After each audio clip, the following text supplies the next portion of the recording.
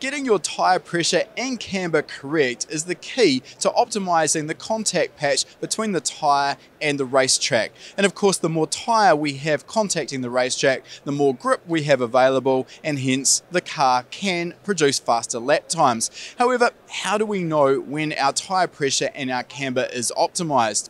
In most instances, the tool that we're going to use in order to help us with this is a tyre pyrometer. The tyre pyrometer is a tool that we're going to use back in the pits after the car has come off the track. This consists of a probe that we can insert just below the tread of the tyre. It's important that we actually read the temperature below the tyre tread because here the temperature will take longer to stabilize. For example, if we're using something like an infrared thermometer to read the tyre tread temperature, then this temperature on the tread is going to stabilize or equalize very quickly as the car comes off the racetrack, meaning that the data we're going to read is not that useful. Because we're reading the tyre temperature below the tread, it gives us a more realistic idea of what's happening out on the track.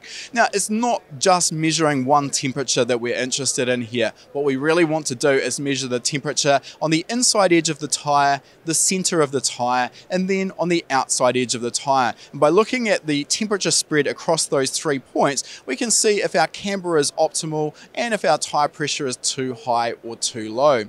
Now, doing this manually and writing down the results is one option, but of course, the tyre temperature is going to stabilize quickly once the car comes off the track, and we've got a relatively narrow window in order to collect all of that data. A better way of doing this is by using a memory recall type product where we can measure the temperature, press a button, and record that temperature before moving on and taking our next reading. This means we can move around the car very quickly, gathering our data before coming back and analyzing our data in more detail once the temperatures have been measured. Some of these products will also allow us to add tyre pressure into our measurements, meaning that we've got a full record of what's been happening while the car's out on the track so that we can track our changes and see if our changes are moving in the right direction.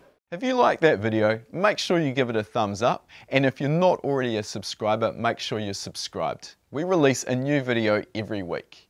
And if you like free stuff, we've got a great deal for you. Click the link in the description to claim your free spot to our next live lesson.